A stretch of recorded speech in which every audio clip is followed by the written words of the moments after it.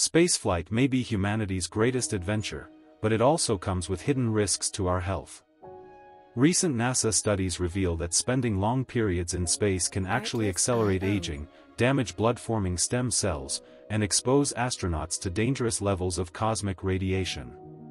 On Earth, our bodies are protected by gravity and the planet's magnetic field.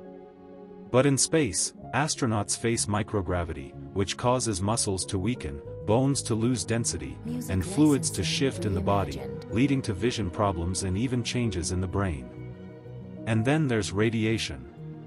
Without Earth's shield, space travelers are constantly bombarded by cosmic rays. This radiation can damage DNA, increase cancer risks, and, according to new research, harm the very stem cells that produce blood and maintain our immune system. That means astronauts on long missions to the Moon or Mars could face serious health challenges, not just during flight, but for years afterward. NASA is working hard to find solutions, from shielding habitats with specialized materials, to developing medicines that protect cells from radiation, to new exercise regimens that fight muscle and bone loss. Understanding these risks isn't just about keeping astronauts safe, it's about making sure humans can one day live and thrive on other worlds. So, here's the big question, if space travel meant aging faster or risking your health, would you still go?